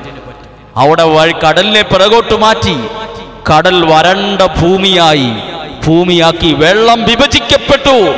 ഇസ്രായേൽക്കാർ കടലിന് നടുവേ ഉണങ്ങിയ സ്ഥലത്തൂടെ പോയി. നോക്കൂ അവിടെ ഒരു അത്ഭുതം നടന്ന ദൈവപ്രവൃത്തി കാണൂ. ഇത് എപ്പോഴാ സംഭവിച്ചത്? ദൈവം അയച്ച കാറ്റ് ദൈവം അയച്ച കാറ്റ് പ്രതിസന്ധികളെ മാറ്റി തടസ്സങ്ങളെ മാറ്റി ബന്ധനങ്ങളെ മാറ്റി നിരാശ മാറ്റി ഡിപ്രഷൻ മാറ്റി പിറുവിറുപ്പ് മാറ്റി. അവർ ഉണങ്ങിയ നിലത്തിലൂടെ എന്ന പോലെ അവർ ചെങ്കടലിലൂടെ ചെങ്കടൽ നടുവിലൂടെ ഉണങ്ങിയ സ്ഥലത്തെന്ന പോലെ മുന്നോട്ട് പോയി. ഒരിക്കൽ കൂടി കേൾക്കൂ ദൈവം അയച്ച കാറ്റ്. അപസ്തോല പ്രവർത്തനത്തിൽ കണ്ടു കൊടുങ്കാറ്റടിക്കുന്നത് പോലൊരു ശബ്ദം കേട്ടു. അപ്പോൾ അവരിൽ അത് നിറച്ചു. അവർ ശക്തരായി മാറി.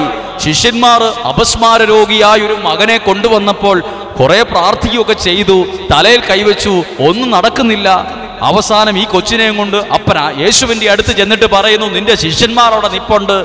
ഞാൻ ഈ കൊച്ചിനെ സൗഖ്യത്തിനായിട്ട് പ്രാർത്ഥിച്ചു. അവർക്കൊന്നും കഴിഞ്ഞില്ല. നിനക്ക് സാധിക്കുമെങ്കിൽ ഇത് പറഞ്ഞപ്പോൾ ആ യേശുവിന്റെ മുമ്പിൽ ആ അപ്പന്റെ മുമ്പിൽ ഈ ശിഷ്യന്മാരുടെ തല നാണം കൊണ്ട് കുനിഞ്ഞു പോയി കാണും. ഞങ്ങൾക്ക് കഴിഞ്ഞില്ലല്ലോ. ഇതേ ശിഷ്യന്മാരാണ് അപ്പസ്തോല പ്രവർത്തനത്തിൽ ആത്മാവ് നിറഞ്ഞപ്പോൾ ശക്തരായി മാറിയത്. കാലിന് സ്വാധീനമില്ലാത്ത ഒരാളെ എന്റെ കയ്യിൽ സ്വർണമോ വെള്ളിയോ ഇല്ല. എഴുന്നേറ്റ് നടക്കാൻ പറഞ്ഞപ്പോൾ അവൻ എഴുന്നേറ്റ് ഓടി ദൈവത്തെ സ്തുതിച്ചു. അത്ഭുതങ്ങൾ നടന്നു. ആത്മാവ് നിറഞ്ഞപ്പോൾ ശക്തരായി മാറി. ഇതുപോലൊരു കൊടുങ്കാറ്റ് അവരെ നിറയ്ക്കുകയാ ചെയ്തത്.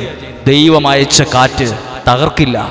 ദൈവം അയച്ച കാറ്റ് നിങ്ങളെ നിറയ്ക്കും. സന്തോഷം നിറയ്ക്കും സമാധാനം നിറയ്ക്കും സമൃദ്ധി നിറയ്ക്കും ഐശ്വര്യം നിറയ്ക്കും സൗഖ്യം നിറയ്ക്കും. ദൈവം അയച്ച കാറ്റ് നിങ്ങളിൽ അത്ഭുതങ്ങളെ സൃഷ്ടിക്കും. ഇതാ ദൈവം അയച്ച ഒരു കിഴക്കൻ കാറ്റ് കടലിനെ പുറകോട്ട് മാറ്റി. നിങ്ങളുടെ ജീവിതത്തിൽ എവിടെയെങ്കിലും വഴിമുട്ടി നിൽക്കുകയാണോ? പോകേണ്ട വഴി അറിയാതെ നിങ്ങൾ ആകെ തകർന്നിരിക്കുവാണോ? ഇനി എവിടോട്ട് കാൽ ചുവടുകൾ വയ്ക്കും? തിരിച്ചു പോണോ? മരിക്കണോ? ജീവിക്കണോ? എന്തുവാ എന്നൊക്കെ ചിന്തിച്ചു കൊണ്ടിരിക്കുന്ന ഒരു മണൽപ്പുറത്ത് നിങ്ങളും ശൂന്യതയായി നിൽക്കുന്ന ഒരു അവസ്ഥയിൽ എന്തു ചെയ്യണമെന്നറിയാതെ നിൽക്കുകയാണോ? ദൈവം അയക്കുന്നൊരു കിഴക്കം കാറ്റുണ്ടെന്ന്. നിങ്ങൾ പ്രാർത്ഥിക്കും നിങ്ങളുടെ കുടുംബത്തിന്റെ മേൽ ഈ കിഴക്കം കാറ്റിനെ ദൈവം അയക്കാൻ ശക്തനാണ്. ദൈവം അയക്കും. എഴുതിയിട്ടുണ്ട് ദൈവം അയച്ച കർത്താവ് അയച്ച ശക്തമായൊരു കിഴക്കൻ കാറ്റ് കടലിനെ പിറകോട്ട് മാറ്റി. നിങ്ങൾ പ്രാർത്ഥിക്കുക എന്റെ തടസ്സങ്ങളെ മാറുവാൻ എന്റെ പ്രതീക്ഷ നഷ്ടപ്പെട്ട സാഹചര്യങ്ങളിൽ അത്ഭുതം നടക്കുവാൻ ദൈവമേ അങ്ങയച്ച കിഴക്കൻ കാറ്റിനെ എന്റെ മേൽ അടിപ്പിക്കണമേ. എന്റെ കുടുംബത്തിന്റെ മേൽ എന്റെ നിയോഗത്തിന്റെ മേൽ. ഞാനിതായി തോറ്റു തോറ്റു കിടക്കുന്ന ഒരു അവസ്ഥയാണ്. എന്റെ മനസ്സ് നിരാശയുടെ ഒരു ഒരു കൂടായി മാറി. എനിക്കൊരു വഴി തുറക്കണം ഒരു വഴി തുറക്കണം. ആരും പോയിട്ടില്ലാത്ത അത്ഭുത വഴിയിലൂടെ തടസ്സങ്ങളെ മാറ്റി ദൈവം നിങ്ങളെ കൊണ്ടുപോകും. ദൈവം അയക്കുന്ന കിഴക്കങ്കാറ്റിന്റെ പ്രത്യേകതയാണ്. ഇത് നാശനഷ്ടങ്ങൾ ഉണ്ടാക്കുന്ന കാറ്റല്ല. കാറ്റടിച്ചു. ഹാലലൂയ പ്രാർത്ഥിക്കുക ദൈവമേ എന്റെ മേൽ ഈ കാറ്റിനെ അയക്കണമേ. അടുത്തൊരു വാക്യത്തിലേക്ക് വരുമ്പോൾ എസ് എ പ്രവാചകന്റെ പുസ്തകം മുപ്പത്തിയേഴാം അധ്യായത്തിൽ മുപ്പത്തിയേഴാം അധ്യായത്തിൽ എഴുതിയിട്ടുള്ളതിന്റെ ആദ്യ ഭാഗത്ത് അസ്ഥിക്കുഴികളാണ് അസ്ഥിക്കുഴി. എസ് എ കെ എൽ പ്രവാചകൻ അവിടെ എഴുതിയിട്ടുള്ള ഒരു വാക്ക് ഇങ്ങനെയൊന്ന് വായിക്കാമോ? അതായത് എസ് കെ കെൽ പ്രവാചകന്റെ പുസ്തകം മുപ്പത്തിയേഴാമത്തെ അധ്യായം. അതാണ് എഴുതിയിട്ടുള്ളത് ഒമ്പതാമത്തെ ഒമ്പതാമത്തെ വാക്യം. മനുഷ്യപുത്ര മനുഷ്യപുത്ര ജീവശ്വാസത്തോട് ജീവശ്വാസത്തോട് നീ പ്രവചിക്കുക. മനുഷ്യപുത്ര ജീവശ്വാസത്തോട് പറയുക. ദൈവമായ കർത്താവ് ദൈവമായ കർത്താവ് അരുൾ ചെയ്യുന്നു. പറയുന്നു അരുൾ ചെയ്യുന്നു. ജീവശ്വാസമേ. ജീവശ്വാസമേ. നീ നാലു വായുക്കളിൽ നിന്ന് ആ ഒരു വായുക്കളിൽ നിന്ന് പോലെ നാലു വായുക്കളിൽ നിന്ന് ഈ നാല് വായുക്കളിൽ നിന്ന് വന്ന ഈ നിഹിതന്മാരുടെ മേൽ വീശുക. ഒരു കാറ്റടിപ്പിക്കുകയാണ് കേട്ടോ. ഇതേത് സ്ഥലം നിങ്ങൾ നോക്കണം? എസ് എ പ്രവാചകന് പുസ്തകം മുപ്പത്തിയേഴാം അധ്യായം. മരിച്ച് മണ്ണായിപ്പോയ മനുഷ്യരുടെ അസ്ഥികൾ കൂട്ടിയിട്ടിരിക്കുന്ന. തലയോട്ടിയും കൈയുടെ എല്ലും നട്ടലിന്റെ എല്ലും ചീഞ്ഞു പോകത്തില്ലാത്ത കട്ടിയ എല്ലുകളും മാത്രം കൂട്ടിയിരിക്കുന്ന അസ്ഥികൾ നിറഞ്ഞ താഴ്വരയിലേക്ക് ഇതാ ദൈവം പറയുകയാണ്. നാലു വായ്ക്കളിൽ നിന്ന് വന്ന് വീശുക. എന്നിട്ട് എന്താ? അവിടുത്തെ ദുർഗന്ധം പോട്ടെ എന്നാണ് എഴുതിയിട്ടുള്ളത്. അടുത്ത വാക്യം എഴുതിയിട്ടുണ്ട്. അവർക്ക് ജീവനുണ്ട് ജീവനുണ്ടാകട്ടെ. അപ്പോൾ ജീവൻ ഉണ്ടാക്കുന്ന ഒരു കാറ്റുണ്ട്. ജീവൻ ഉണ്ടാക്ക ജീവനില്ലാത്തിടത്ത്. എല്ലാം തകർന്ന ഇടത്ത്. നാല് നാല് വഴിക്കായി പോയ ഇടത്ത്. ശൂന്യമായി പോയ ഇടത്ത്. പ്രതീക്ഷിക്കാൻ ഒരു മൊട്ടോളം ഒരു സൂചിമുനയോളം പോലും ഇല്ലാത്ത ഒരിടത്ത് ദൈവം അയച്ച ഒരു കാറ്റ്. വന്നിട്ട് എന്താ പറഞ്ഞേ? ജീവനുണ്ടാകട്ടെ. ജീവനുണ്ടാക്കുന്ന നിങ്ങളുടെ കുടുംബത്തിൽ എവിടെയാണ് ജീവൻ നഷ്ടപ്പെട്ടത്? ജീവൻ നഷ്ടപ്പെട്ട ഒരുപാട് കാര്യമുണ്ട്. ജീവൻ നഷ്ടപ്പെട്ട സാമ്പത്തികമുണ്ട്. ജീവൻ നഷ്ടപ്പെട്ട കുടുംബജീവിതമുണ്ട്. ജീവൻ നഷ്ടപ്പെട്ട സാഹചര്യങ്ങളുണ്ട്. ജീവൻ നഷ്ടപ്പെട്ട ആ പ്രാർത്ഥനാ നിയോഗങ്ങളുണ്ട്. ജീവൻ നഷ്ടപ്പെട്ട ആത്മീയ ജീവിതമുണ്ട്. ജീവൻ നഷ്ടപ്പെട്ട പ്രാർത്ഥനാ ജീവിതമുണ്ട്. ദൈവം അയച്ച് ദൈവം പറഞ്ഞില്ലേ ഒരു കാറ്റ് ഒരു കാറ്റടിക്കട്ടെ എന്നിട്ട് ജീവൻ ഉണ്ടാകട്ടെ എന്നിട്ട് ജീവൻ ഉണ്ടായോ? അതിന് താഴേക്ക് സമയക്കുറവുള്ളത് കൊണ്ട് നിങ്ങൾ വായിക്ക്. നിങ്ങളുടെ ബൈ കയ്യിൽ തുറന്നു വച്ചിരിക്കുന്ന ബൈബിളിന്റെ താഴോട്ട് വായിക്ക്. ജീവൻ ഉണ്ടായോ എന്ന് ചെതറിയതിനെ ദൈവം ഈ കാറ്റ് ചേർത്തു.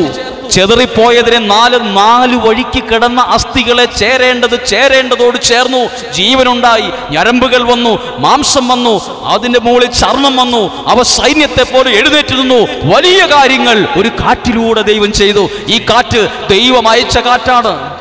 ആദ്യം കണ്ടു കൊടുങ്കാറ്റിന്റെതുപോലെ ഒരു ശബ്ദം. രണ്ടാമത് നമ്മൾ കേട്ടു കിഴക്കൻ കാറ്റ്. ഇതാ നാലു വായുക്കളിൽ നിന്ന് വന്ന ജീവനുണ്ടാക്കിയ മറ്റൊരു കാറ്റ്. നിങ്ങളുടെ ജീവിതത്തിൽ ജീവൻ ഉണ്ടാക്കുന്ന ഒരു കാറ്റ്. നിങ്ങൾ പ്രാർത്ഥിക്കുക ഈ കാറ്റ് ദൈവമേ എന്റെ മേൽ ഇന്ന് കൊണ്ടുവരണമേ.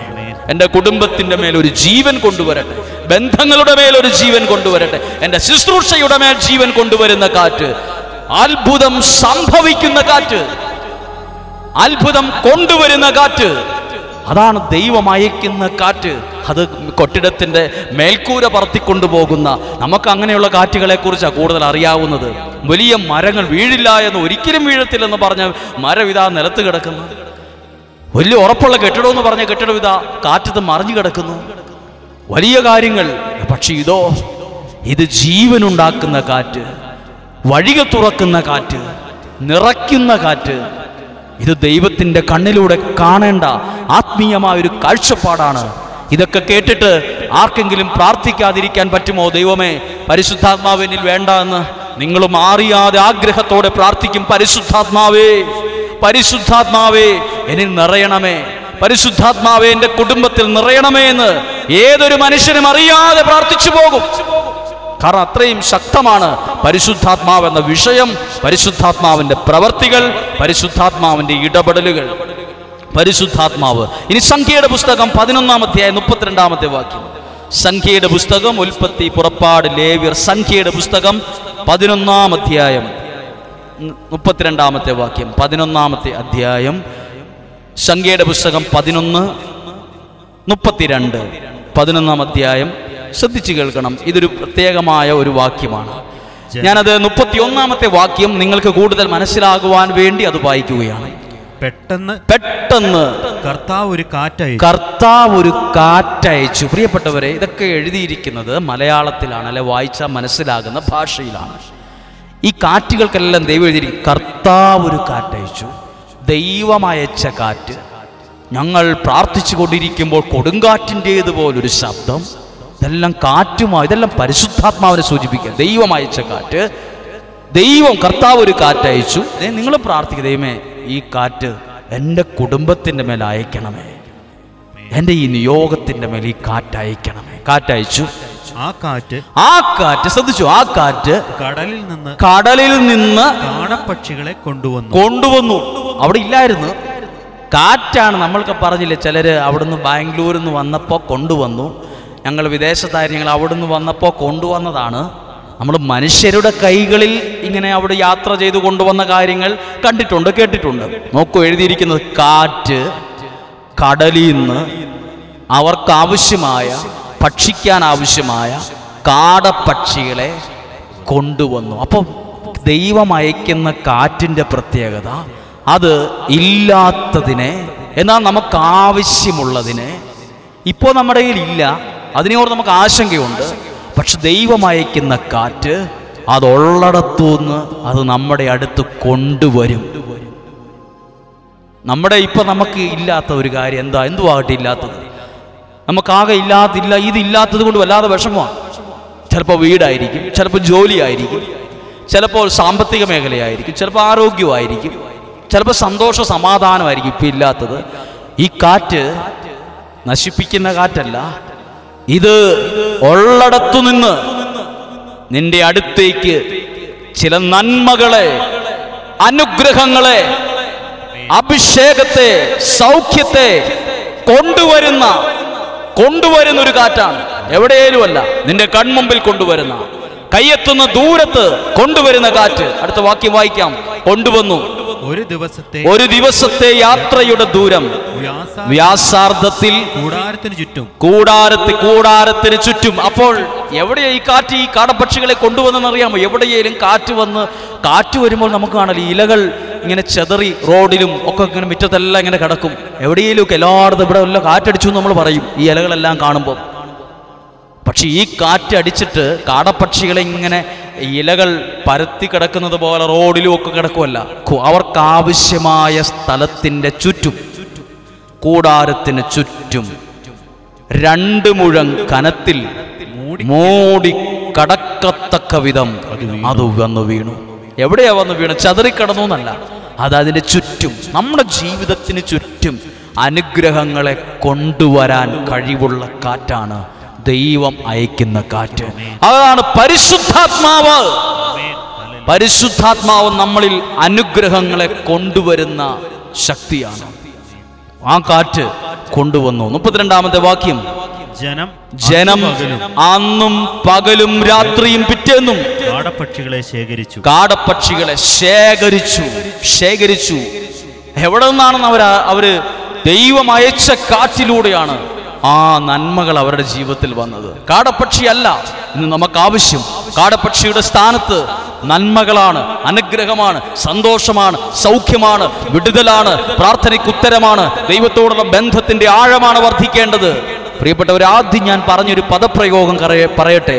നിങ്ങൾ അനുഗ്രഹിക്കപ്പെട്ട നിലയിൽ കാണാൻ ദൈവം ആഗ്രഹിക്കുന്നു. അത് തിരിച്ചു കൊടുക്കാൻ യാഥാർത്ഥ്യമാക്കി തിരിച്ചു കൊടുക്കാൻ നിങ്ങൾക്ക് സാധ്യമാണോ? നിങ്ങൾ അനുഗ്രഹിക്കപ്പെട്ട നിലയിൽ നിങ്ങളുടെ കുഞ്ഞുങ്ങൾ നല്ല രീതിയിൽ വളർന്നു വരാൻ ദൈവം സ്വർഗത്തിൽ നിന്ന് ആഗ്രഹിക്കുമ്പോൾ അതേ രീതിയിൽ അത് യാഥാർത്ഥ്യമാക്കി തിരിച്ചു കൊടുക്കാൻ നിങ്ങൾക്ക് സാധ്യമാണോ? അതിന് കഴിയണമെങ്കിൽ ലോകം അതിന് അവസരം തരില്ല. ലോകം തകർക്കാനാണ് നോക്കുന്നത്. ലോകയിൽ നമ്മളെ പലരുടെയും ഭാവി ഇല്ലാതാക്കാനാണ് ശ്രമിക്കുന്നത്. എന്നാൽ ദൈവം അയക്കുന്ന കാറ്റോ അത് നമ്മളെ നിറയ്ക്കും നമ്മളെ വളർത്തും നമുക്കാവശ്യമായത് കൊണ്ടുവരുന്ന കാറ്റാണ് ദൈവം അയക്കുന്ന കാറ്റ്. അത് നമ്മളെ അത് നമ്മെ ശക്തീകരിക്കുന്ന കാറ്റാണ്. അത് നമ്മളെ വിടുവിക്കുന്ന കാറ്റാണ്. അത് നമ്മളെ രക്ഷിക്കുന്ന കാറ്റാണ് ദൈവം അയക്കുന്ന കാറ്റ്. പ്രിയപ്പെട്ടവർ ഈ വചനങ്ങൾ ശ്രദ്ധിച്ചാൽ നിങ്ങൾക്ക് ഈ കാര്യങ്ങൾ കൂടുതൽ വ്യക്തമായി ഇത് മനസ്സിലാകും. ഇതുകൊണ്ട് ഈ ഈ ഒരു പരിശുദ്ധാത്മാവ് നമ്മളിൽ ഉണ്ടാകണമെന്ന് ദൈവം ആഗ്രഹിക്കുന്നുണ്ട്. നിങ്ങളുടെ കുടുംബത്തിലും ജീവനുണ്ടാകുന്ന ഈ ആത്മാവ് ഒരുപാട് കാര്യങ്ങളുണ്ട് ഇതിനെക്കുറിച്ച് പറയാം എസ് എ പ്രവാചകന്റെ പുസ്തകം അവസാന അധ്യായത്തിൽ ഒരു നീരുറവയെക്കുറിച്ച് പറഞ്ഞിട്ടുണ്ട്. ദേവാലയത്തിന്റെ ആ ആ ഭാഗത്ത് നിന്ന് പുറപ്പെടുന്ന ഒരു ജീവജലം അത് മുട്ടോളം അരയോളം പിന്നെ നീന്തിയിട്ടല്ലാതെ കടപ്പാൻ വയ്യാത്ത വിധം അത്രയും ആഴമുള്ള അവിടെ മത്സ്യങ്ങൾ ധാരാളം ഉണ്ടായിരുന്നു എന്നതാണ് ദൈവത്തിന്റെ ആത്മാവിന്റെ ഒഴുക്കിനെ കുറിച്ച് പറഞ്ഞിട്ടുണ്ട്. ആ ഒഴുകിയ സ്ഥലത്തെല്ലാം ജീവനുണ്ടായിരുന്നു എന്ന് എഴുതിയിട്ടുണ്ട്. ജീവൻ ജീവനുണ്ടാകുന്നതാണ്. ദൈവം അയക്കുന്ന ആത്മാവ് ജീവനുണ്ടാകും. ജീവനുണ്ടാകും. ജീവിതം തരുന്ന ജീവനുണ്ടാകും. പരിശുദ്ധാത്മാവ് സഹായിക്കും. പക്ഷെ ഒരു പ്രത്യേകതയുണ്ട്. മിക്കവാറും ഈ ആത്മീയ കാര്യത്തിലാണ് നമ്മുടെ ജീവിതത്തെ ഈ ആത്മാവിനെ ഈ ആത്മാവിന്റെ പേരിലായിരിക്കും പലർക്കും നമ്മളോട് ഇഷ്ടമില്ലാതാകുന്നത്. ഈ ആത്മാവിന്റെ നിറവിന്റെ പേരിലായിരിക്കും പലരും നമ്മൾ നമ്മളോട് ശത്രുതയിലാകുന്നത്. പലരും നമ്മളോട് ദേഷ്യത്തിലാകുന്നത്. പലരും നമ്മളോട് പിണങ്ങുന്നത്. പലരും നമ്മുടെ മേൽ മണ്ണ് വാരിയിടുന്നത് ഈ ആത്മാവിന്റെ പേരിലായിരിക്കും. ഈ ആത്മ കാരണം അസൂയാലുക്കൾക്കൊരു പ്രത്യേകതയുണ്ട്. അവൻ ഈ ആത്മാവിൽ നിന്ന് വളരുന്നത് അവൻ ഇഷ്ടമില്ലാത്തതുകൊണ്ട് ഇത് മൂടാൻ നോക്കും. അവനിൽ നിന്ന് ആ നശിപ്പിക്കാൻ നോക്കും. അതിനൊരു ഉദാഹരണമുണ്ട്. ഉൽപ്പത്തി പുസ്തകം ഇരുപത്തിയാറാം അധ്യായം. ഉൽപ്പത്തി പുസ്തകം ഇരുപത്തിയാറാമത്തെ അധ്യായത്തിൽ ഇസ്ഹാക്കിനെ കുറിച്ചും എഴുതിയിട്ടുള്ളൊരു ഭാഗമാണ്. അവിടെ ഇസ്ഹാക്ക് അങ്ങ് വളർന്ന് ഇസ്ഹാഖ് അങ്ങ് വർദ്ധിച്ച് ഇസ്ഹാക്ക് സമ്പന്നനായി മാറി. അത് എഴുതിയിരിക്കുന്ന വാക്ക് ഇരുപത്തിയാറാം അധ്യായം പതിമൂന്നാമത്തെ വാക്യം. മുൽപ്പത്തി ഇരുപത്തിയാറ് പതിമൂന്ന്. അവൻ അഭിവൃദ്ധിപ്പെട്ടുകൊണ്ടേയിരുന്നു. ക്രമേണ അവൻ വലിയ വലിയ സമ്പന്നനായി മാറി. വലിയ സമ്പന്നനായി മാറി. അവന് ധാരാളം ആടുമാടുകൾ ജോലിക്കാർ പരിചാരകർ എല്ലാം ഉണ്ടായിരുന്നു. പതിനഞ്ചാമത്തെ വാക്യം നോക്കൂ. ഇവർ ഇത്രയും അനുഗ്രഹിക്കപ്പെട്ടതിന്റെ അസൂയ മൂത്ത് അവരെന്നാ ചെയ്തെന്ന് എഴുതിയിട്ടുണ്ട്? അവന്റെ പിതാവായ അബ്രാഹത്തിന്റെ വേലക്കാർ കുഴിച്ച കിണറുകളെല്ലാം. കിണർ കിണറ്റിൽ എന്താ ഉള്ളത്? കിണറ്റിൽ സ്വർണവും വെള്ളയൊന്നുമല്ല. കിണറ്റിലുള്ളത് വെള്ളമാണ്. ഒരാളുടെ കിണർ വന്ന് മൂടിയാൽ അയാളുടെ വളർച്ച ഇല്ലാതാകുമോ? അതാണ്. ഇവിടെ ഒരു കാര്യം ചിന്തിക്കാനുണ്ട്. ഈ ശത്രുക്കൾ മനസ്സിലാക്കുവാണ് ഈ കിണറ്റിൽ നിന്ന് വെള്ളം കോരിയിട്ടാണ്. ഈ വെള്ളം കുടിച്ചാണ്. ഇവൻ വളർന്ന് ഇത്രയും വലിയ ആളായത്. ആ കിണറങ്ങ് മൂടിയാൽ അതായത് നമ്മുടെ ജീവിതത്തിൽ നമ്മളൊരാൾ വളരുമ്പോൾ ചില ശത്രുക്കൾ മനസ്സിലാക്കും ഇവൻ ഈ ഈ വെള്ളം കുടിച്ചിട്ടാണ്. ഇവൻ ഇങ്ങനെയൊക്കെ ചെയ്തിട്ടാണ്. ഇവൻ ഈ ആത്മാവിൽ നിറഞ്ഞിട്ടാണ് ഇവൻ ഇങ്ങനെ വളരുന്നത് ഇങ്ങനെ സമ്പന്നനാകുന്നത് അറിയപ്പെടുന്നത്. അപ്പോൾ ആദ്യം വന്ന് അവനെ ഉപദ്രവിക്കുമല്ല അവ ആ കിണറങ്ങ് മൂടും. നമ്മുടെ ഉള്ളിലെല്ലാം ഉണ്ട് ഇതുപോലെ അതാണ് യശയ പ്രവാചകൻ രക്ഷയുടെ കിണറ്റിൽ നിന്ന് ഞാൻ കോരിയെടുക്കും. ആദ്യം കേട്ട വാചന ഏഷ്യ പ്രവാചകന്റെ പുസ്തകത്തിൽ എഴുതിയിട്ടുള്ളൊരു വാക്കാണ് ഏഷ്യ പ്രവാചകന്റെ പുസ്തകത്തിൽ. പന്ത്രണ്ടാം അധ്യായം മൂന്നാമത്തെ വാക്യം രക്ഷയുടെ കിണറ്റിൽ നിന്ന് ഞാൻ സന്തോഷത്തോടെ ജലം കോരിയെടുക്കും. ഈ രക്ഷയുടെ കിണറ്റിൽ നിന്ന് കോരുന്നത് ഇഷ്ടപ്പെടാത്തതുകൊണ്ട് കിണർ വന്നു മൂടി. പ്രിയപ്പെട്ടവരെ നിങ്ങളിലും നിങ്ങളുടെ കുടുംബത്തിലും നിങ്ങളുടെ തലമുറകളിലും ഇതുപോലെ ആത്മാവിനോട് ആത്മാവിൽ അത്രയും ചേർന്നിരിക്കുന്ന ജീവിതങ്ങളെ എങ്ങനെയെങ്കിലും ആത്മാവിനെ നശിപ്പിക്കാനാണ് അതിനെ മൂടിക്കളയാനാണ് അസൂയാലുക്കളും ശത്രുക്കളും നോക്കുന്നത്. നിങ്ങളെ എന്തോടിയല്ല? നിങ്ങൾ എവിടുന്നാണ് കോരുന്നത്? നമ്മൾ കോരുന്ന സ്ഥലം നമ്മൾ ഒരുമിച്ച് പ്രാർത്ഥിക്കുന്ന സ്ഥലം രക്ഷയുടെ കിണറ്റിൽ നിന്ന് അനുഗ്രഹം സന്തോഷത്തോടെ കോരിയെടുക്കുന്ന സ്ഥലമാണിത്. ഇതെങ്ങനെ ഇല്ലാതാക്കാം? ഇതെങ്ങനെ നശിപ്പിച്ച് കളയാം? അത് ആദ്യം മണ്ണിട്ട് മൂടുവാണ്. അയാളെ ഒന്നും ചെയ്തിട്ടില്ല. ഒരു കിണറല്ലേ മൂടിയുള്ളൂ? വേറെ കിണർ കുത്താൻ പാടില്ലേ? എന്നൊക്കെ നമ്മൾ ചിന്തിക്കും. പക്ഷെ എഴുതിയിട്ടുള്ള ഒരു കാര്യമുണ്ട്. ആ കിണർ മൂടി അങ്ങനെ ഒരുപാട് കിണറുകൾ ഇവർ മൂടി. അടുത്ത വാക്യം എഴുതിയിട്ടുള്ള ഒരു വാക്യമുണ്ട്. ഇരുപത്തിരണ്ടാമത്തെ വാക്യം. അവിടെ നിന്നു മാറി. അകലെ അവൻ വേറൊരു കിണർ കുഴിച്ചു. അതിന്റെ പേരിൽ വഴക്കുണ്ടായില്ല. നമുക്കൊരു കിണറിന്റെ പേരിൽ ഭയങ്കര വഴക്ക്. അവൻ സമ്പന്നനായി ആടുമാടുകളും പരിചാരകരും ഉണ്ടായി. കിണറെന്താ അവിടെ വലിയ തെറ്റ് ചെയ്തത്? കിണറെന്തിനാ മൂടുന്നത്? കിണറിന്റെ പേരിൽ എന്തിനാ വഴക്ക്? വെള്ളം കുടിക്കുന്ന കാര്യവുമായി ബന്ധപ്പെട്ടല്ലേ സാധാരണ കിണറിൽ വഴക്കുണ്ടാവും ഒരാൾ സമ്പന്നനായതിന്റെ പേരിൽ ഇത് ഈ കിണർ പ്രത്യേകതയുണ്ട്. നമ്മുടെ ജീവിതത്തെ രക്ഷ കോരിയെടുക്കുന്ന കിണറാണ്. രക്ഷയുടെ ജലം കോരിയെടുക്കുന്ന കിണറാണ്.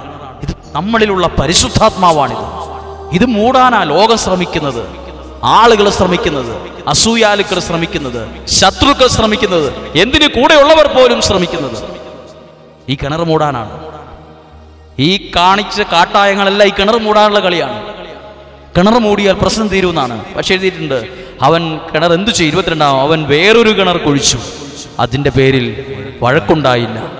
പ്രിയപ്പെട്ടവരെ നമുക്ക് എവിടെയെല്ലാം എന്തൊക്കെ നഷ്ടങ്ങളുണ്ടായാലും കിണർ മൂടി അത് ചെയ്തു ഇത് ചെയ്തു എന്ന് വിചാരിച്ച് വിഷമിച്ചിരിക്കരുത്. തളർന്നും തകർന്നും ഇരിക്കരുത്. മറ്റൊരു കിണർ കുഴിക്കണം. അത് നമ്മൾ ചെയ്യുന്ന പ്രാർത്ഥനയും നമ്മൾ ചെയ്യുന്ന ഉപവാസവും നമ്മൾ ചെയ്യുന്ന ദൈവത്തോടുള്ള ബന്ധവും ആത്മാവിനെ നിറയാനുള്ള ആഗ്രഹമൊക്കെ നമ്മൾ കുഴിക്കുന്ന ചില കിണറുകളാണ്. അവിടെ നിന്നാണ് നമ്മുടെ വളർച്ചയുള്ളത് ജീവനുണ്ടാകുന്ന. ഈ ശത്രുക്കൾ ഒരു കാര്യം മനസ്സിലാക്കി കേട്ടോ. ശത്രുക്കൾ മനസ്സിലാക്കുക. ഇവൻ ഈ കിണറിൽ നിന്ന് വെള്ളം കോരിയിട്ടാണ് ഈ കിണറുമായി ബന്ധപ്പെട്ട ഇവന്റെ വളർച്ച ഇവന്റെ ഉയർച്ച ഇവന്റെ സമൃദ്ധി ഇവന്റെ പരിചാരകർ വേലക്കാർ എന്തൊരു സമ്പത്ത് ഇവനുണ്ടായി. ഇവനൊന്നും ഇല്ലായിരുന്നല്ലോ. ഇത് മരുഭൂമിയായിരുന്നു. ഒരു ഗതിക്ക് പരഗതി ഇല്ലാതിരുന്ന ആളാണ് ഇസഹാക്ക് ഒരു സമയത്ത്. ആ പട്ടിണിയും ദാരിദ്ര്യം ഉണ്ടായിരുന്ന സമയത്ത് ജീവിച്ച ആളാണ്. ഇവൻ എങ്ങനെ ഇത്രയായി? ശത്രുക്കൾ പോലും മനസ്സിലാക്കി കിണറാണ് ഇവന്റെ വളർച്ചയുടെ ഇവന്റെ ഉയർച്ചയ്ക്ക്. ജീവിതത്തിൽ രക്ഷയുടെ കിണറുണ്ട്. അത് ചിലപ്പോൾ ഞാനും നിങ്ങളും എന്നും പ്രാർത്ഥിക്കുവാൻ പോകുന്ന ദേവാലയം. ഞാനിരിക്കുന്ന എന്റെ പ്രാർത്ഥനാ മുറി ഞാൻ കേൾക്കുന്ന ദൈവത്തിന്റെ വചനം ഇതെല്ലാം രക്ഷയുടെ കിണറാണ്. അത് മൂടാൻ സമ്മതിക്കരുത്. അത് മൂടാൻ ഒരുപാട് പേരുണ്ട്. അത് മൂടാൻ ഒരുപാട് പേരുണ്ട്. അത് മൂടിയാൽ നമ്മളുടെ ജീവിതത്തിലെ നന്മകൾ നിന്നുപോകും. അതിനെ ചുറ്റിപ്പറ്റിയാണ് നമ്മുടെ വളർച്ചയും ഉയർച്ചയെല്ലാം ഇരിക്കുന്നത്. രക്ഷയുടെ കിണർ. അതാണ് ഏഷ്യ പ്രവാചകൻ പറഞ്ഞത്. രക്ഷയുടെ കിണറ്റിൽ നിന്ന് ഞാൻ സന്തോഷത്തോടെ ജലം കോരിയെടുക്കും. ജലം കോരിയെടുക്കും. പ്രിയപ്പെട്ടവർ നിങ്ങൾക്കും ഈ ഒരു ആത്മീയ നിറവ് ലഭിക്കട്ടെ. ഈ പരിശുദ്ധാത്മാവിനെ നിങ്ങൾക്ക് കിട്ടട്ടെ. ഈ ബോധ്യം നിങ്ങളിൽ ഉണ്ടാകട്ടെ. പരിശുദ്ധാത്മാവ് നിങ്ങളിൽ വളരട്ടെ. ദൈവത്തിന്റെ ഇടപെടൽ നിങ്ങൾക്ക് എത്രയോ കാറ്റുകളെക്കുറിച്ച് കേട്ടു. ലോകം ലോകത്ത് നമ്മൾ മീഡിയയിലൂടെ കാണുന്ന കൊടുങ്കാറ്റ് ആ രാജ്യത്തടിച്ചു അങ്ങനെ ഒരു കാറ്റ് ഓരോ കാറ്റിനും ഓരോ പേരൊക്കെ ഉണ്ട്. ആ കാറ്റ് പോലത്തെ കാറ്റല്ല ഇത്. ഇത് കൊടുങ്കാറ്റാണേലും ഒരോട് പോലും പറപ്പിച്ചുകൊണ്ട് പോയില്ല. ഒരാ ഒരു മരം വീണ് അവരുടെ വീട് തകർന്നില്ല. അവരുടെ വീടിനെ നിറച്ചു.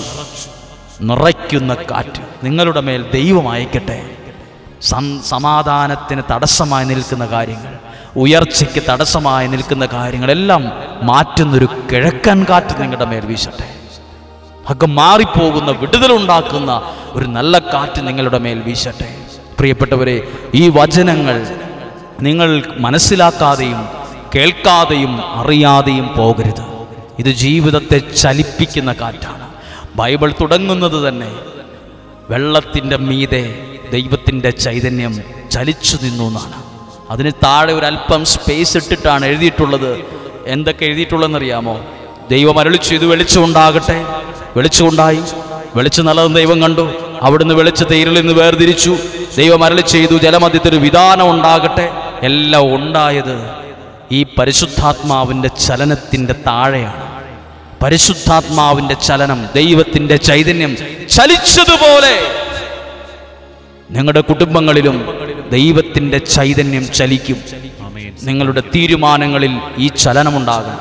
നിങ്ങളുടെ ജീവിത മാർഗങ്ങളിൽ ഈ ചലനം നിങ്ങളുടെ വരുമാനങ്ങളിൽ ഈ ചലനം ഉണ്ടാകുമ്പോഴേ എന്തേലുമൊക്കെ ഉണ്ടാവൂ. ഈ ചലനമില്ലാത്തടത്ത് ഒന്നും ഉണ്ടാകുകയില്ല. എല്ലാം പല വഴിക്കായി പോകും. എന്തെങ്കിലുമൊക്കെ ഉണ്ടാകും ഉണ്ടാകട്ടെ ഉണ്ടാകട്ടെ എന്ന് പറഞ്ഞാൽ പോരാ. ഉണ്ടാകട്ടെ എന്ന് പറയുമ്പോൾ ഉണ്ടായെങ്കിൽ അതിന്റെ മുകളിൽ കാണാം ദൈവത്തിന്റെ ചൈതന്യം ആക്റ്റീവായി ചലിച്ചുകൊണ്ട് നിന്നത്. ദൈവത്തിന്റെ ചൈതന്യം ഇതാ നിങ്ങളുടെ കുടുംബത്തിലും ഇപ്പോൾ ചലിക്കുന്നുണ്ട്. അത് നിങ്ങളിൽ ഒരുപാട് കാര്യങ്ങൾ ഇല്ലാത്തതിനെ ഉണ്ടാക്കും. ഇന്ന് വരെ ഇല്ലായിരുന്നു. പക്ഷേ ഈ ചൈതന്യത്തിന്റെ താഴെ ഒരുപാട് കാര്യങ്ങൾ ഉണ്ടാകും. അങ്ങനെയാണ് ഭൂമി മനോഹരമായത്. ഈ ചലനത്തിലാണ് ഭൂമി മനോഹരമായത് എല്ലാം നല്ലതാണെന്ന് ദൈവം കണ്ടു. എല്ലാം സൃഷ്ടിച്ചു ഈ ചൈതന്യം. പ്രിയപ്പെട്ടവരെ നിങ്ങളുടെ ജീവിതത്തിൽ ഈ ചൈതന്യം നിറഞ്ഞു നിൽക്കട്ടെ. ഈ വചനങ്ങൾ നിങ്ങൾ അനേകരിലേക്ക് ഇത് കൊടുക്കണം. ഈ വചനങ്ങൾ അനേകരോട് വായിക്കാൻ പറയണം. ഈ സന്ദേശം നിങ്ങൾക്ക് പറ്റുന്നിടത്തോളം ആളുകളിലേക്ക് നിങ്ങൾ എത്തിക്കണം. അത് നിങ്ങളാൽ കഴിയുന്ന ഒരു കാര്യമാണ് ഉപകാരമാണ്. നിങ്ങളത് അവർ ആ വചനം കേൾക്കാൻ അവരോട് ആവശ്യപ്പെടണം. അപ്പോൾ അവരിലോ അവരും അനുഗ്രഹിക്കപ്പെടും. അതിന്റെ അനുഗ്രഹം നിങ്ങൾക്കും ലഭിക്കും. ജോബ് തന്റെ സഹോദരന്മാർക്ക് വേണ്ടി പ്രാർത്ഥിച്ചപ്പോൾ അവന്റെ ഐശ്വര്യം പോയി എന്നല്ല അവന്റെ ഐശ്വര്യം ഇരട്ടിയായതാണ് എഴുതിയിട്ടുള്ളത്.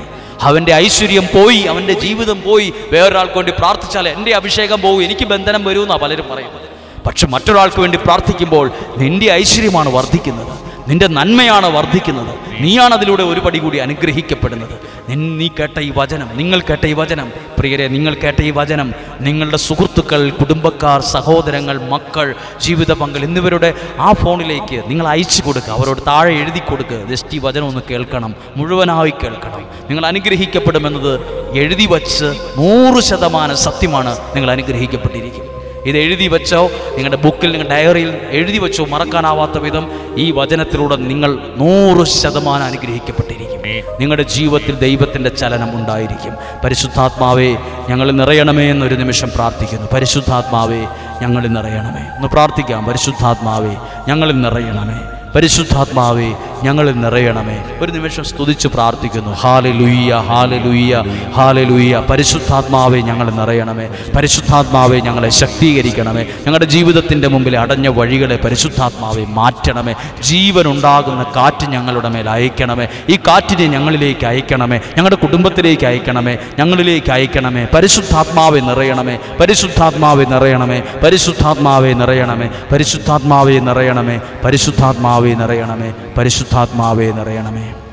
അവിടുന്ന് തന്റെ സമാധാനം നൽകി അഭിഷേകത്തെ നൽകി ആത്മാവിനെ നൽകി വിടുതലുകളെ നൽകി സൗഖ്യത്തെ നൽകി. നിങ്ങളെ നിങ്ങളുടെ കുടുംബത്തെയും ഈ വചനത്തിലൂടെ സമൃദ്ധമായി അനുഗ്രഹിക്കട്ടെ എന്ന് പ്രാർത്ഥിക്കുന്നു. ആമേൻ.